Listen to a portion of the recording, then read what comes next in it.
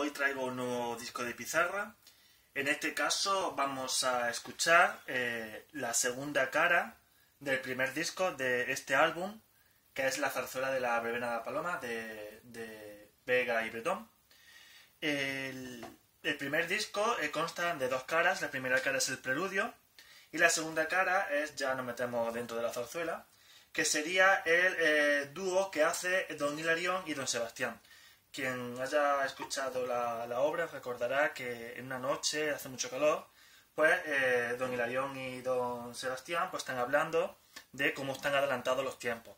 Estamos hablando de principios de siglo, del siglo XX. Eh, Entonces, mm, es curioso que digan que es un adelanto, pues una modernidad, cómo avanza la medicina, cómo avanza la tecnología, cuando realmente pues esos avances no, eran tan asombrosos como puede ser ahora o los en el futuro, pero claro, en aquella época era lo normal.